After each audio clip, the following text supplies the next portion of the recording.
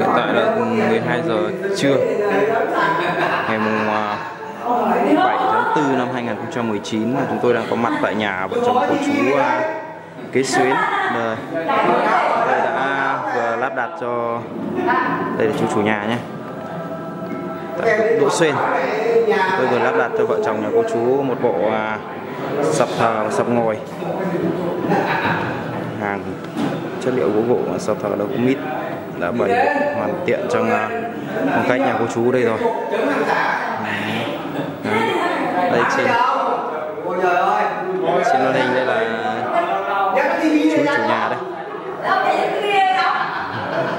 Đấy, đây trên vợ chồng à, màn hình đây là hai vợ chồng của chú chủ nhà đây, đây là chú chủ nhà đây.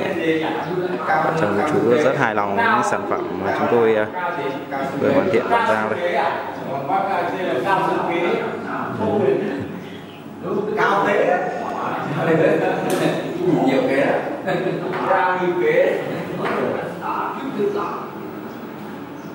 đây là khu mấy Đỗ Sơn à? Khu 7 Khu 7, khu 7 Đỗ Sơn ấy. Ông ra con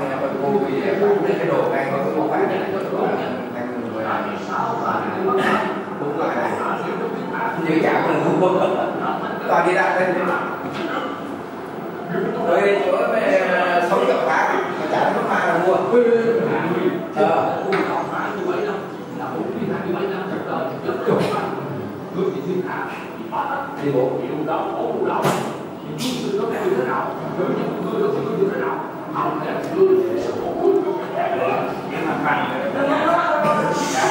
ờ. Đi bộ. Đó đây là tổng thể bộ sản phẩm nhé.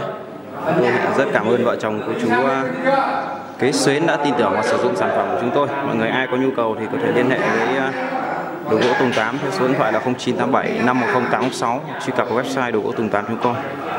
Cơ sở chúng tôi là có địa chỉ tại ờ, Văn Khúc, Cẩm Khê, Phú Thọ nhé. Và xin cảm ơn ờ, và hẹn gặp lại mọi người trong những clip khác nhé. anh nhớ anh chưa cái việc đúng hỏi là cái việc đúng hỏi về hàng này đó mua thì vì đó là một con thì một quần như thế nào nữa và hai người cháu đi kêu nữa rồi. Cái bạn. Đó